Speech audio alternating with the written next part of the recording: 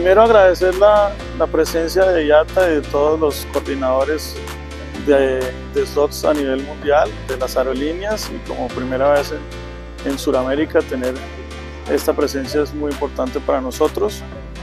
El mensaje principal es comentar cuál es el proceso que nosotros llevamos a cabo en la coordinación de los aeropuertos, la asignación de slots y la facilitación de franjas horarias en los diferentes aeropuertos. Es hacer conocer cuál es nuestra normativa, nuestro, nuestras actividades futuras y dejar muy claro que estamos dispuestos a colaborar y hacer un uso más eficiente de nuestras capacidades.